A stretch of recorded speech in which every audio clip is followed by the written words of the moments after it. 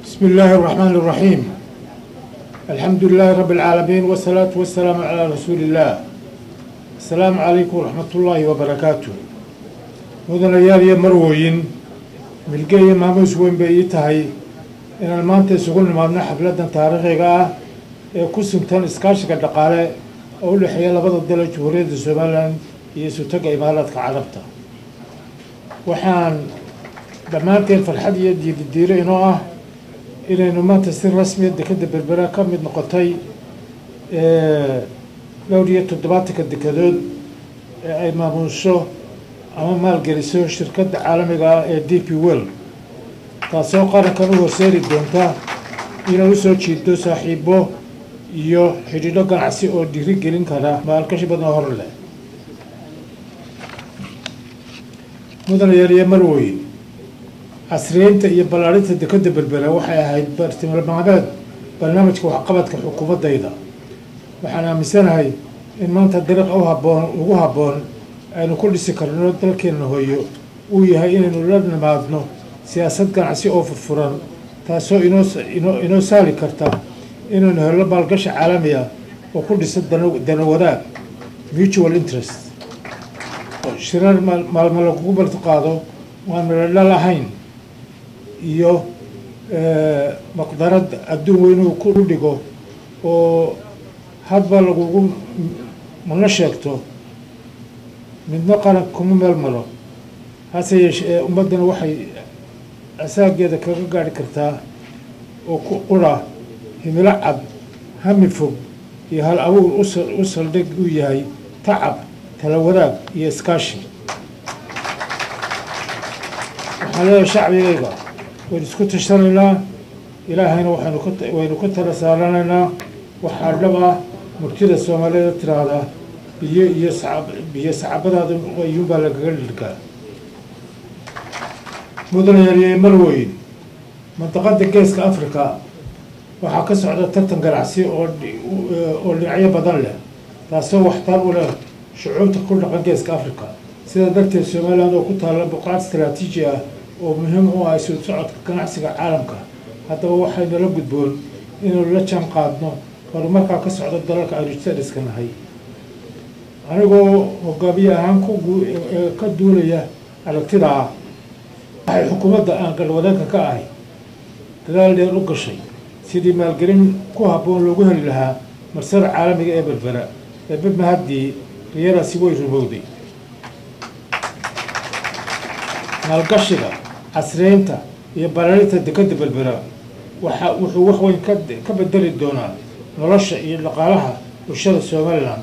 waxaa kaloo uu dhiirigelin doonaa uu dhiirigelin u noqon doonaa mashaariic kaloo muhiima iyo shirkado caalami ah oo dalka maalgashiga ku sameeya. Dhinaca kale maalgashigan waa mid fursado shaqo iyo u abuuri fursado shaqo u abuuri doona xoogga dhalinyarada dihin ee shaqo la'aantu hayso wuxuu kor u qaadayaa iskaashiga ganacsi aanu la leenahay. Dalalka dariskaasi sidoo kale wuxuu kor u qaadi doonaa xidhiirka jamhuuriyadda soomaaliyad iyo dalalka isutaga imaaraadka carabta kaasoo ahaa mid soo jireena qarniyo badan awow ilaa ka awow. Mudanayariyo marwooyin dowladda soomaaliya waxay qadarin iyo ixtiraam weyn u haysaa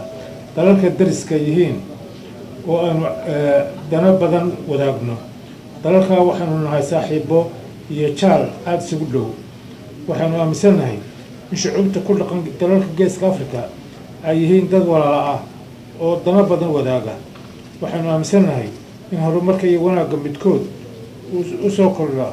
uu kalena u yahay sad iyo sarero. Xukuumaddayda waxaa ka goona inaynu xoojinno xidhiirka iyo wada shaqaynta dalalka dariska iskana kaashano adkeynta amniga la dagaalanka argagixisada walcadbadeeda tahriibka faqriga gaajada iyo ganacsiga shardarrada ah sida aad la socotaan waxaa jira heshiisyo kale oo jamhuuriyadda soomaaliya iyo dowladda isutaga imaaraadka carabtu wada galeen kuwaasoo ah kuwo amni iyo ganacsi. Sida saldhigga military iyo shirkadda diyaaradaha ee fly dubay oo si joogto ah u timaada maalin kasta jamhuuriyadda somalilan heshiisyadaa kala duwan waxay sii xoojinayaan iskaashiga iyo xodadahaanshaha labada dal. Xiriirka soomaalida iyo isutaga imaaraadka carabtu ma aha mid imika bilaabmay laakiin waa mid muddo dheer soo jiran ahaa. Waxaan xusuustaa yaraantaydii markaan magaalada berbere ku ballanayay qur'aanka kariimka ah